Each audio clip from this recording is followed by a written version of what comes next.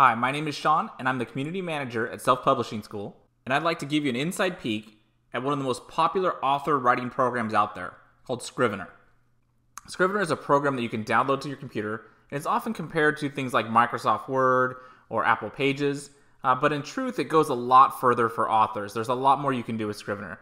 The cost of the program is $45, and that's for lifetime use of the program, and you can purchase a license either for the Mac version or the PC version. And it comes with what they consider a generous household license, so you can install it on multiple computers in your home. Uh, but the one catch is if you do have a PC and a Mac, you're going to have to buy both versions. All right, so let's jump right into a Scrivener project file so I can show you exactly what it's like when you're working with Scrivener. So at first glance, it does look like a word processing tool similar to Microsoft Word or Google Docs, where you have all your writing on the right side here, and on the left side you have a general outline of your project. But that outline does much more. You can see that it's arranged in what's called a binder, and in that binder you can all you can have your manuscript. You can have your manuscript not all just as one piece, but you can have it divided up into different sections. So when you're writing, you can focus just on that section. So you can pull one section up, you can take a look and focus your writing just on that section or you can even pull up a, a different section below uh, in a separate window so you can refer back to something else. So say you wanted to refer back to something else you had written, and so you can make sure that they are going to match up. It makes it very easy instead of having to jump in between the different places in the file, you can pull both those up at the same time. Also going back over to the left, looking in the binder, you can have not only your manuscript or your writings, but you can have areas for character descriptions, for setting sketches. You can have an area for your front matter for your book.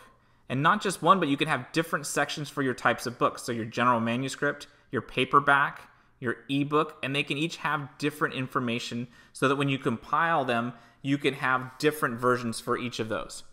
You can also see in the bottom left corner you can have your research section. So you can have links to websites in here. You can use different text files, pictures, anything that you want to use for research, then you can easily pull that up when you're looking in a different window.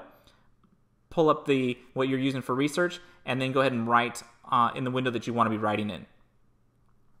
At the bottom here, you can also see there are templates that you can use for character sketches, setting sketches, uh, and for nonfiction authors, you can use these to have your customer avatar there and there's a dedicated trash bin for each file. This comes in really handy when you start to pull things down into trash uh, and then you look for them later. You can go back in here and so it's not emptied with the rest of your main computer's uh, trash file. So you can see just by how it's organized on the left that it does much more than just an average word processing program, but that's just barely scratching the surface. As you get in, there's so many different features. I'm going to show you a few of them that are my favorites starting off with the project file where you can bring up project targets.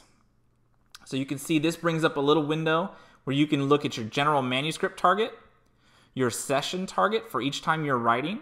You can even bring up little target windows for each one of the different areas that you're writing in so you can see how far you've gotten in each one.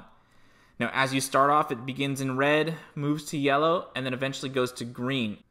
And it's a great way to give instant feedback and really propel yourself to get towards your word goals. Oftentimes, I'll set these goals at either a thousand or two thousand words, and as I see it get into green, uh, it gives me that motivation to continue either to my goal, or in many cases, it gives me the motivation to exceed my goals. So another great feature to keep you focused uh, so that you're not distracted easily while you're on your computer is to go into a different view they call composition mode. So when you pull it up this way, it's going to bring up a different screen where it only shows what you're writing and blocks out all the different editing menus, all the different things that you may have going on your computer, and just focuses solely on your writing. Now you can choose to have things like your project targets in view so you can see how you're doing your targets, or you can take that away too so you just have the page that you're working on and it's just you and your writing distraction free.